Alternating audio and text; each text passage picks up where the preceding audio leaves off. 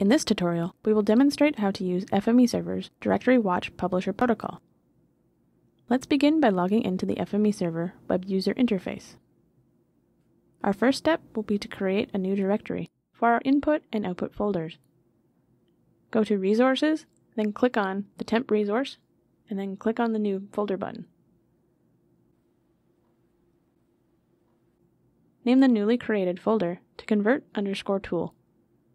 Select the Convert Tool folder and create two new subfolders named Input and Output.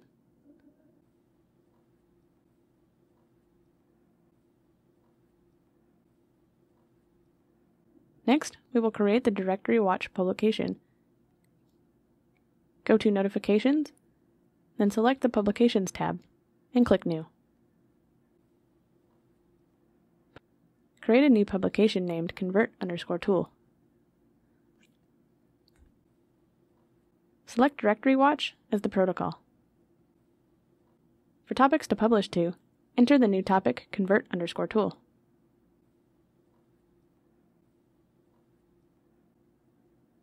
For the directory to watch, browse Resources and select the Input folder.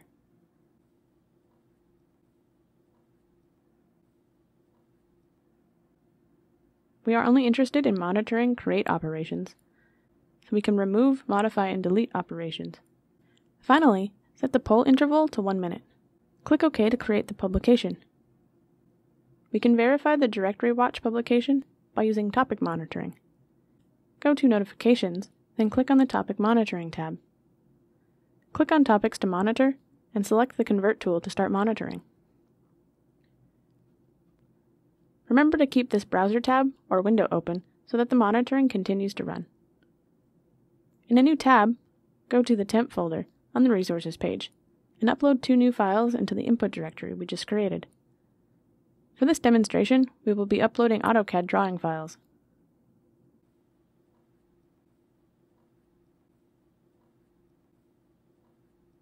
Wait one minute and return to the monitoring page, where you'll see two messages, one for each file that we just uploaded.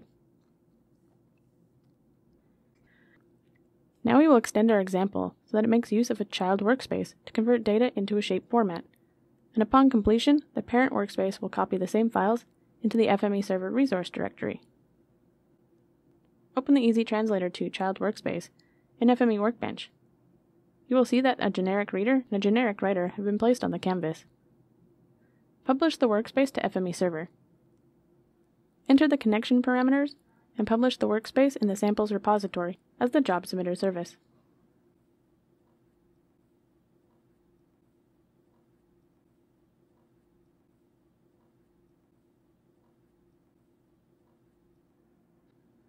Next, open the convert.fmw parent workspace in FME Workbench. Modify the FME server job submitter transformer so that it's updated to your host information. Select the samples repository and the Easy Translator 2 workspace. Click Finish to close the transformer.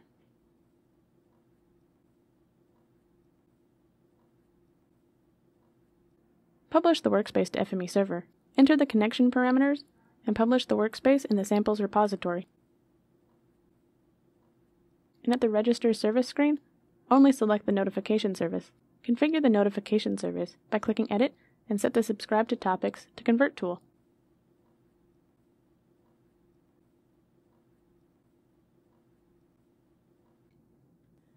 Now let's test to verify that our parent-child workspaces function as expected. Return to the Resources page in FME Server and navigate to the Temp Convert Tool input directory. Upload a drawing file to the input directory Wait one minute and then go to the temp convert tool output directory. Here you'll see a newly created zip file. Download it and you will find two shapefiles inside.